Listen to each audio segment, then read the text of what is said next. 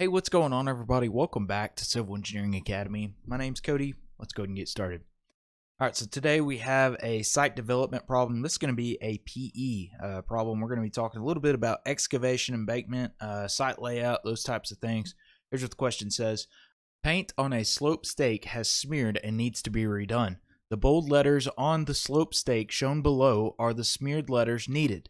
Uh, how should the slope stake be repainted to accurately portray the road cro- roadway cross section shown below? And then we see uh, our sort of diagram, and then we got our slope stake there. So our diagram it tells us we're looking up station, so that's a hint. And then we see sort of this cross section of our roadway, uh, and then we see that slope stake there. We see the C slash F or the L slash R.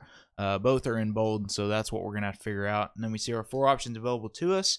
Uh, so if you're looking for some reading material on this in the PE reference handbook, we need to be in uh, version 10 or sorry, version 1.2. Uh, that's the new version that came out for uh, April, April 2023 and on. So that's the latest and greatest for this video. Uh, we're going to be looking in chapter two, and it's going to be in construction. Uh, and that sort of chapter starts on page 47. So it's not going to be a lot of help for you for this problem, but luckily for this problem, you almost only have to use common sense. You have to use common sense, maybe even a little bit of prior knowledge. Uh, it could be in the construction depth. Uh, it's actually in the CERM on, uh, if you're looking at the 16th edition, it's going to be on page 81 3. So just if you're looking for more information on this type of problem, that's what you're going to be looking at. So uh, let, us think logically through here. So uh, the first letter, let's see, C slash F. Okay, so um, I would go ahead and infer cut fill. We see that four and then the two underlined. So let's use our uh, brains here, our engineering brain. We see our slopes uh, location or our stake location rather. Uh, it's 4.2 feet below FG finished grade. So we can imagine that we are filling uh, 4.2 feet above. So uh, that first sort of initial or um, uh, letter, that's going to be almost a cue to the next thing. So we are filling 4.2 feet. Okay, so that's where that comes from at 15.0 feet left or right of the center line. So if you're looking up station, right, uh, literally the right is going to be to the right and the left is going to be to the left. If you're looking down station, right, let's let's go ahead and think about this. If we're drawing this, right, here's kind of your alignment.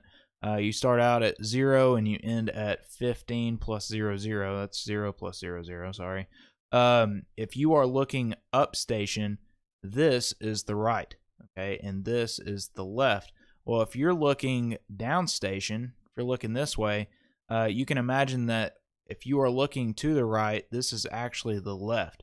Same thing down here. This is going to be the right, okay? So hopefully that kind of makes sense. It gives us a hint. We're looking up station. So in this case, we are looking up station, right? So our right is our right and our left is the left of the center line, okay? Uh, so that's what that kind of hints at. It's at 15.0 feet. Uh, that's kind of where that slope, that two to one slope begins. So is it to the right or the left of the center line? I just gave it away to you basically. This is going to be to the right. Okay, so that's the right. Uh, and then the second part or the last part is two to one slope. So two to one down to existing. So that's where it ties to existing. So, so this one's going to be D. So I hope this video helps. We'll catch you next time.